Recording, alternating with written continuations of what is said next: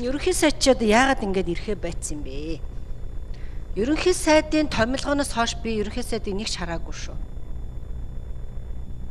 Манай бүлэг дээр орж ирэл сөрөг хүчинтэйгээ хамт ажиллана, дэмжин бид нар нэг улс шүү, нэг ард түмнийхээ төлөө ажиллана гэсэн өнөөдөр нэг ч ирэхгүй л байна. Тэгээ ерөнхий сайдын цаг дээр ерөөсөө ирдгүү. Ингиж бас ард түмнээ бас энэ цөөнхөө доромжилж болохгүй шүү.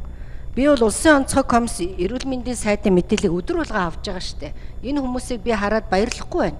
Яг тэгэхээр энэ хүмүүс чи очиод тэр талбар дээр ажиллаа хийх байтал ингээд биднэрт өдөр болгон ингээд ажлаа тайлагнаад ах чинь төвхтэй штэ. Улс орны нөхцөл байдал ямар хүнд байгаа вэ?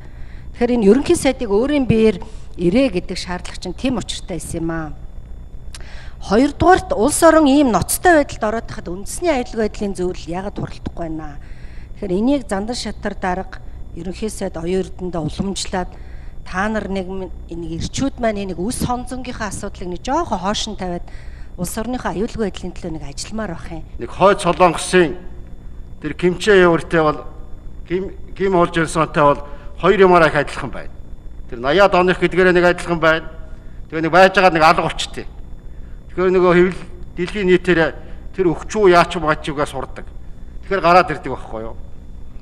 Тэгээ сая Монголын ард түмэн хэд хоног харахгүй байна л да ерөнхий сайдаа. Энд ч одоо улсаас сайдаа аваад улсын ажлыг хийж байгаа юм шүү дээ. Тэр ажил олгогч нэгж байгаа байхгүй юу? Зодуулч уу яач уу?